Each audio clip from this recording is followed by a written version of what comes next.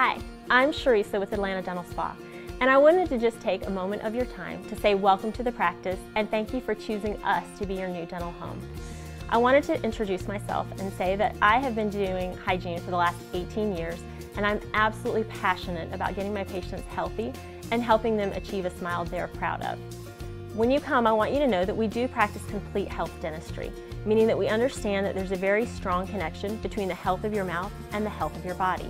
And so because of that, we take a very comprehensive look at both your medical and dental history.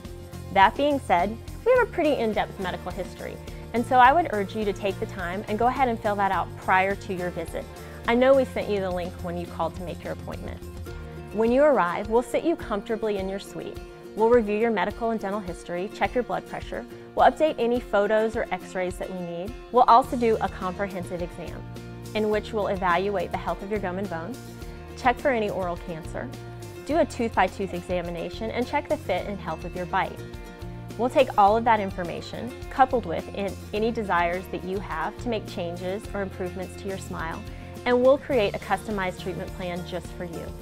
We'll also, based on the health of the gum and bone, determine what type of cleaning will suit you best and proceed that day as well.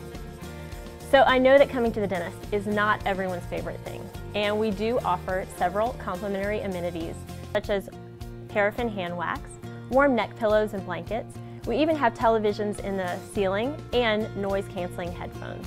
So I want you to come, I want you to be comfortable, and if you have any concerns or questions, please email those to me before your visit.